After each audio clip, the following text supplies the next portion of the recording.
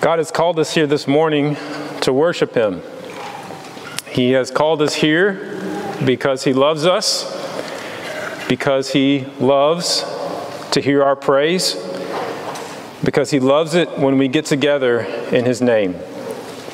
And we are gathered here this morning because we do love Him. We do want to praise Him. We do want to please Him. We want to do what is right. We want to grow and we want to succeed. None of us wants to fail, right? No one in this room is out looking for failure. No one out in Bowling Green this morning is out looking for failure. We have an aversion to failure, we hate it. And Jesus, knowing that, gives a teaching in Luke chapter 14 that I want you to turn with me to and I want us to consider this morning. Luke chapter 14, we're going to look at verses 25 through 35. And, and think about this passage in which Jesus is going to, to tell us to count the cost. And I'd like you to read with me, please, in Luke chapter 14. Please turn there, open with me, put a marker there if you have one. We're going to go through this passage together. Luke chapter 14, beginning in verse 25. Now great crowds accompanied him. And he turned and said to them, If anyone comes to me and does not hate his own father and mother and wife and children and brothers and sisters, yes, and even his own life, he cannot be my disciple. Whoever does not bear his own cross and come after me cannot be my disciple. For which of you, desiring to build a tower, does not first sit down and count the cost, whether he has enough to complete it. Otherwise, when he has laid a foundation and is not able to finish, all who see it begin to mock him, saying, This man began to build and was not able to finish. Or what king going out to encounter another king in war will not sit down first and deliberate whether he is able with 10,000 to meet him who comes against him with 20,000? And if not, while the other is yet a great way off, he will send a delegation and ask for terms of peace. So, therefore, any of you who does not renounce all that he has cannot be my disciple. Salt is good, but if salt has lost its taste, how shall its saltiness be restored? It is, it is of no use either for the soil or for the manure pile. It is thrown away. He who has ears to hear, let him hear. Whoever does not bear his own cross and come after me cannot be my disciple. In this passage, we are told that we must hate our family. We must make sure that we have enough resources to build the whole tower from the very beginning. We're told to compare our army with that of the enemy before going into battle. If we don't want to be labeled a failure, then we need to do some homework. But I want to ask you a question as we dig into this text and as we think through it together this morning. Is Jesus' point, is Jesus asking us to look at ourselves and decide if we are able to bear this burden? Is Jesus asking us to consider whether or not we can carry the load. I want you to think about that with me as we go through that text this morning. And I want to give you a little bit of warning about the structure of the lesson. We're going to look at this text in sort of three sections section one, two, and three, and then we're sort, going to sort of use some words like summary and conclusion after section three, but I still have more to go after that. Okay, so I don't want to set you up for disappointment. We're going to go through sections one, two, and three, kind of summarize it a little bit, and then look at why he talks about salt at the end. Okay, so let's look first at section one. Section one is verses 25 through 27. And I want to read that with you again. I know we just did, but I want to read this small section and this kind of look at what it says to us about this idea of becoming a disciple of Jesus and how we want to be ready for that. Now great crowds accompanied him, and he turned and said to them, If anyone comes to me and does not hate his own father and mother and wife and children and brothers and sisters, yes, and even his own life, he cannot be my disciple. Whoever does not bear his own cross and come after me cannot be my disciple. Now, if you're not familiar with the teachings of Jesus, if you have not spent much time in the Word of God, this is going to be shocking to you. And for those of us who are Christians, it may be that if someone called us out about what is Jesus saying here, we might stammer around a little bit trying to understand or try to finagle our way around. But this might be one of those situations in which the way in which he uses language is different from the way in which we would use language. And so we look at other passages in the Bible which clearly teaches us, husbands, love your wives. Wives, respect your husbands. Children, honor your parents in the Lord, for this is right. And so it might help us to look at a parallel passage, another one of the Gospels that gives us the same teaching, but uses different words to help us. So in Matthew chapter 18, or Matthew chapter 10, excuse me, in verse 37, Matthew, as he records his Gospel, also being guided by the Holy Spirit, writes it for us this way, right? Whoever loves father or mother more than me is not worthy of me. And whoever loves son or daughter more than me is not worthy of me. It's, it's an issue of comparison. Who do you love more? Who would you choose if you were forced to choose? And Jesus is here telling us that the first test we need to pass is to make sure, is to look within and decide and determine that we love Jesus more than anyone else in the whole world. As we consider becoming a disciple of His, that's what this is about, right? And that's why we're here. As we consider becoming a disciple of Jesus, we cannot make our decision based on what our family has done, is doing, or will do. This is not one of those times where we call a family conference and we have a vote. Regardless of what my family is doing, I must decide that Jesus is more important. Now, I want all of my family to follow Jesus. And I want all of your family to follow Jesus. And I love to read in the account of Acts about Cornelius and his household right, obeyed the gospel. Lydia and her household obeyed the gospel. I love to read those stories, and we love to see families who are all together committed to the Lord. But the fact of the matter is, oftentimes we have to choose. And even for those of us who are believers, there are times where we have to make choices.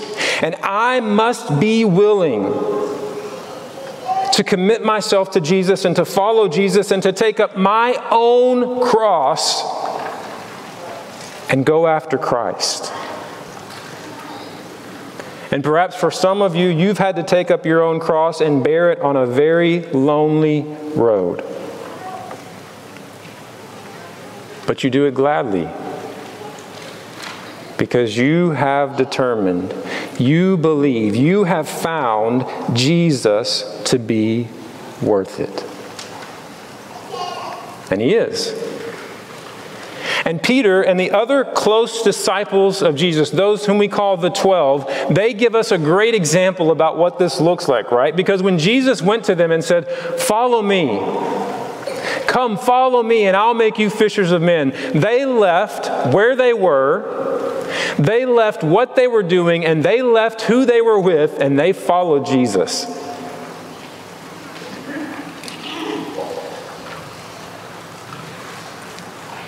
And Peter brings this up to Jesus on another occasion.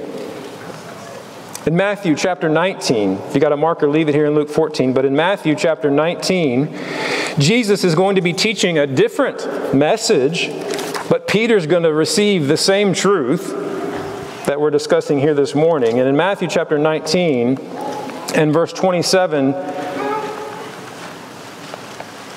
Peter is going to say, See, we have left everything and followed you. What then will we have? Peter says, We did that.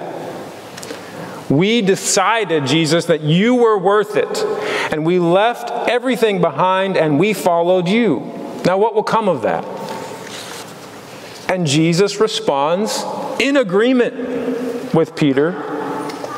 But I want you to notice perhaps what Jesus emphasizes here, at least, at least the way in which he phrases this, the order in which he states it. Peter says, We left everything and followed you. And Jesus says, then in verse 28, Truly I say to you, in the new world, when the Son of Man will sit on his glorious throne, you who have followed me will also sit on 12 thrones, judging the 12 thrones of Israel. And everyone who has left houses, or brothers, or sisters, or father, or mother, or children, or lands, for my name's sake, will receive a hundredfold and will inherit eternal life. Jesus says, You followed me. Jesus says, You did this for my name's sake. So, the part that I want to emphasize this morning from section one of our text in Luke 14 is not how we can do a better job of hating our family, right? Because that's not Jesus' point, is it? Jesus' point is that we look at Him, we focus on Him, we get to know Him, and as we do so, our longing for Him becomes so much greater than our longing and desire for anyone or anything else. We pursue Jesus regardless of what it costs us because he is worth it. That's what I believe Jesus is telling us in the first part, section one of our text this morning, about what it means to be a disciple of his. We have decided, we have found that he is worth it. Look with me now at section 2. Section 2 is back in Luke chapter 14, now picking up in verse 28. For which of you, desiring to build a tower, does not first sit down and count the cost, whether he has enough to complete it? Otherwise, when he has laid a foundation and is not able to finish it, all who see it begin to mock him. This man began to build and was not able to finish. What is Jesus trying to get across here? What, what is Jesus' point? Is he telling us that we need to save more money before we begin building our house? Is this simply a point of wisdom that we might find in the Proverbs or some other part of the, the Old Testament where we have this principle about saving or preparedness? Is Jesus perhaps pointing to the fact that we have a tendency towards laziness? We have a tendency not to follow through. Knox was just pointing out to me yesterday we start a lot of projects and we don't really finish them. Is Jesus trying to indicate that we need to go to the ant as a sluggard and we need to observe the ant's hardworking ways before we can pretend to be a good disciple?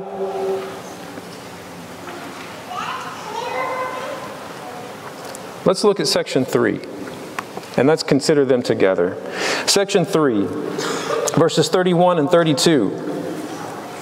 Or what king, going out to encounter another king in war, will not sit down first and deliberate whether he is able with 10,000 to meet him who comes against him with 20,000? And if not, while the other is yet a great way off, he sends a delegation and asks for terms of peace. What's Jesus trying to teach us here?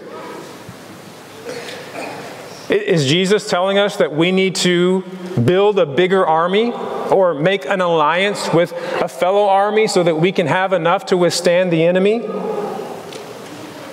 If we think about this in spiritual terms, is Jesus telling us that we need to call a meeting with the devil and ask for some sort of peace treaty?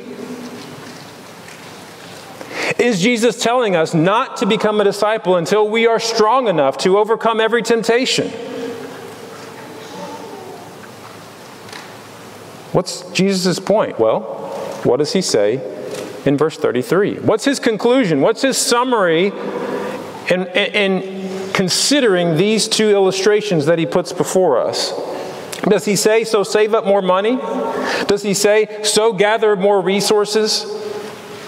Exercise your willpower so that you'll be prepared. Jesus says in Luke chapter 14 and verse 33 So therefore, any one of you who does not renounce all that he has cannot be my disciple. The solution is quite the opposite of what you would expect. Rather than build up and acquire and gain, he says to renounce. You have to renounce everything. And the thing that I want to bring up for your consideration this morning is that we have to even be willing to renounce our desire to appear successful in every particular.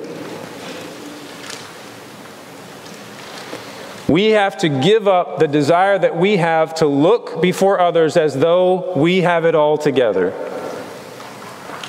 And I want you to consider with me in thinking about this idea Peter, who we brought up just a moment ago. Peter and the other disciples who did give up so much, who gave up a great deal, and was recognized for Jesus for do, by Jesus for doing so. We are also told, if we spend time reading through the Gospels, about many of the failures of Peter. And I didn't sit down and add up the failures of Peter versus the successes of Peter, but they're probably going to be pretty comparable. The gospel does not hide those things from us, does it? And I want to ask you this morning would Peter have been a better disciple if he hadn't have failed? Would the cause of Christ have been more fully carried out if Peter had not messed up the way that he did? And, and I would like to suggest to you no.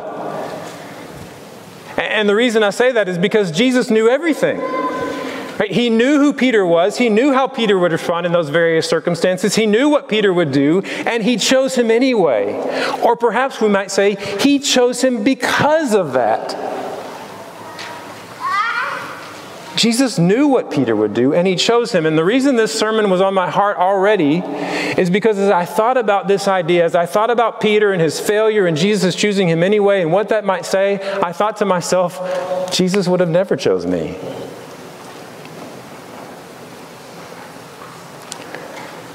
Because I'm far too cautious. I am far too indecisive. I'm far too calculated, and I worry that I misapply this passage from Luke chapter 14 over and over again.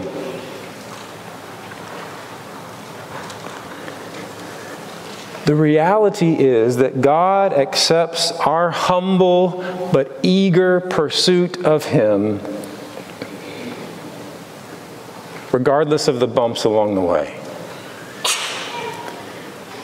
Do you remember that Jesus told his disciples that he wanted them to become like children? Truly, I say to you, unless you turn and become like children, you will never enter the kingdom of heaven. We can think of a number of qualities that children have that we need to have as God's disciples. But here I want to just think about this idea of a humble pursuit. Right? A humble pursuit that a child has for that next step, for that next stage of development, for the next thing that they need or want, the humble pursuit that we see in a child, because children stumble and fall a lot. Right? If you've had toddlers in your home, you've had the desire to go buy foam padding and cover every surface in your home because children fall a lot. They get these crazy, nasty bumps and bruises on their heads. You're constantly watching them and worried that somehow they're going to break everything. But they get up and they take the next step. They stand up and they wobble and they try again. They have a humble pursuit, and then before you know it, they're running faster than you are.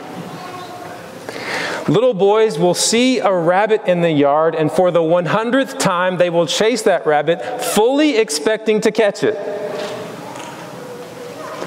They engage in a humble pursuit of something that they see before them that is of interest, regardless of past experience or who's watching them or what the outcome will be. If we were to read in our Old Testaments, we would find that it was a young girl who took a step of faith and told a foreign army captain where he could go to be healed of his leprosy. If we read another story from the life of Jesus, we'll learn that it was a little boy who offered up five loaves and two fish when the question was come, how are we going to feed these 5,000 people? And while I acknowledge that Peter had some problems and that it may have been some confidence that was in himself instead of in Jesus and the plan that caused him to put himself out there on some of those occasions, I would like to suggest to you this morning that also it was a childlike faith that Peter had that claimed that he would go to the death with Jesus. God wants us to put ourselves out there for him.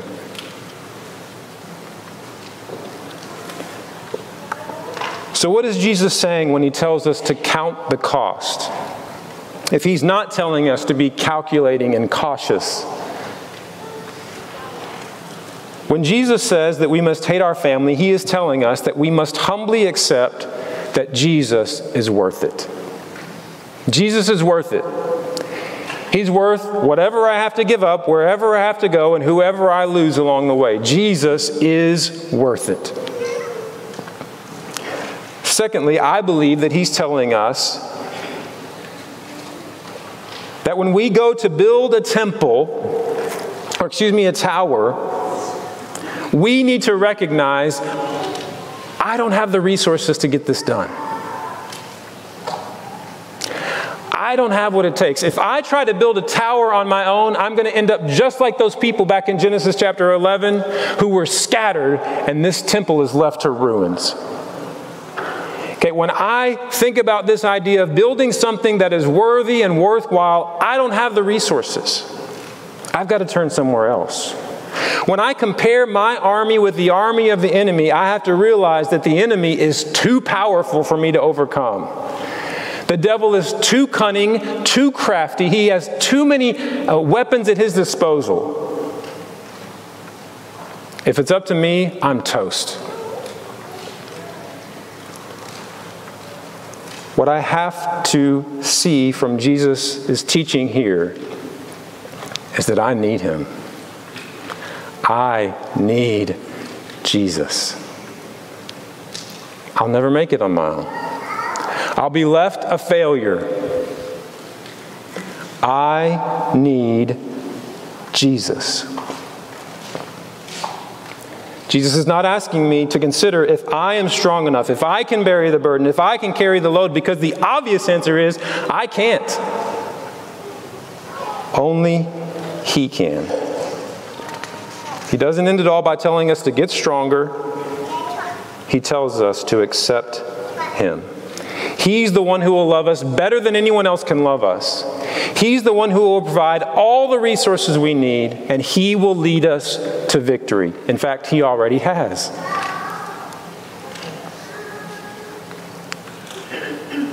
But then, Jesus offers this lesson on salt.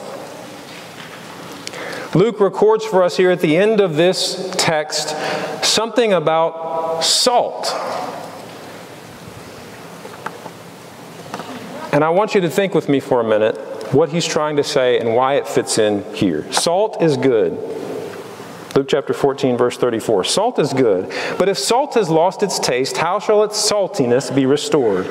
It is of no use either for the soil or for the manure pile. It is thrown away. He who has ears to hear, let him hear. Now, again, just like with the reference to children that, that we made earlier, there could be a number of ways we understand that. So, when we think about this idea of being the salt of the earth, we can talk about a number of things being a preservative, adding flavor, various things. But at the risk of embarrassment, I want you to take this on a little bit of a surface level for me. And, and when I thought about this in my mind, I thought about like the 80s surfer dude voice, right? Hey man, why are you using so much salt? I don't know, dude, because it's like so salty. Right? I love the way the NIV puts this. Salt is good, but if it loses its saltiness, how can it be made salty again? Why do you like salt? Because it's salty, right? It does what it's supposed to do, and nothing else can take its place. You, you, you can replace the Italian with the oregano, those little spices in the cabinet. You can, you know, you can do the cayenne pepper. You can pick the chili powder. You can mix some different things together. But if you don't have salt, it just doesn't taste right, right? Salt is there because it fills this unique space. It has an essence about it. My son Knox, right? If you don't know my son Knox, we, we, we all have this, but I, I just want to use his name because it sounds cool with this illustration. My son Knox has his Knoxiness, right? He has an essence about him. And if he were to lose his Knoxiness, he would not be a different person. He would be a nobody. Right? If, if I lost my Joshiness, I would, I would not be a different person. I would be a nobody. Okay? We are made uniquely by God just the way that we are, and we're intended to fill that unique space in His creation. Each of us are made uniquely by God, but we all have one purpose. When He says, don't lose your saltiness. Don't lose what it is about you that makes you you. But I want to give you a warning, right? Because the world tells us all the time we need to find ourselves. We need to be our unique person. That's not what this is. Okay, you need to be the unique person that God is calling you to be, and that involves bearing His image. Okay? If I lose my Christ following, image bearing reflection of God, I lose myself. And I am lost forever. If I give up on the image bearing following of Christ, I've lost my essence. I've given up the very thing that makes me human and that makes me me. That's why there's so many people in the world trying to find themselves who are completely lost and have no idea even where to begin. They don't know the first things about themselves because they aren't looking in the right place. God tells us who we are. God made us how we are. And if we look to Him and we follow Him, we'll find our purpose, right? So, what God is saying to us is be true not only to yourself, be true to your purpose, what He has called us to be. Don't lose your saltiness. I want you to conclude with me this morning in Luke chapter 22. Luke chapter 22.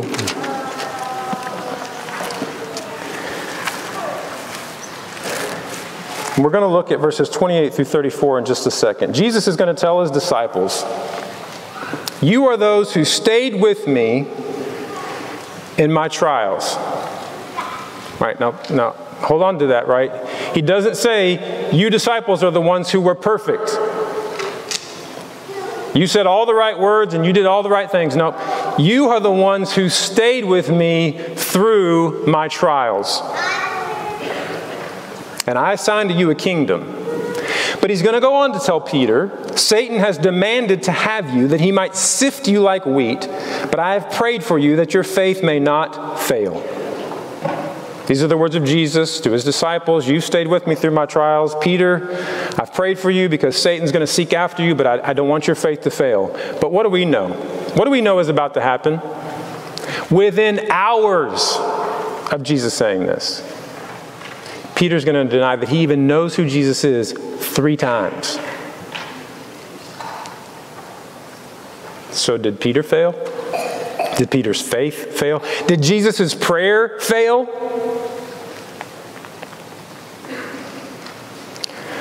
Want to read this passage with you Luke chapter 22, beginning in verse 28. And I want to tell you from the beginning what I'm going to do is I'm going to read this passage, and then I'm going to take a couple of sentences from the middle of it, and I'm going to read them again at the end. Okay?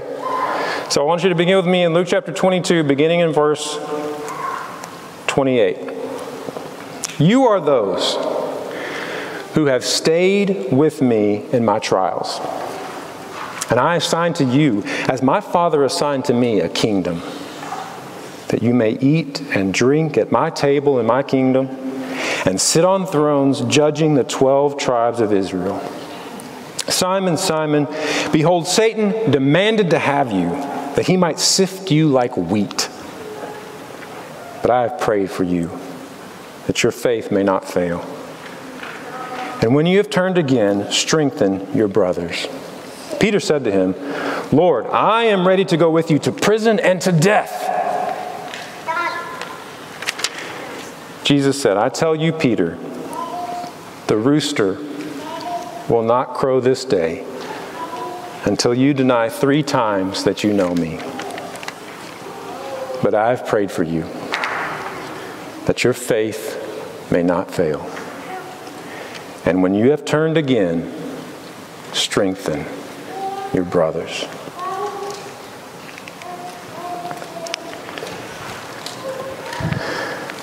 Perhaps it is that you're here this morning and you're at a point in your life where you realize that Jesus is worth it. We would love nothing more than for you to come and let everyone else here know that you've made that decision.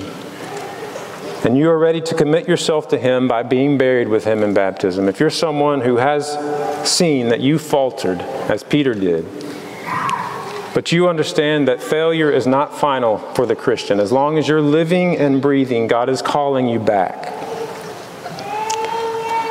And if you want the help and encouragement of this group, we would love to pray for you, to encourage you, to strengthen, to join with you in humbly pursuing Jesus. If you have any need, please come to the front while we stand and sing.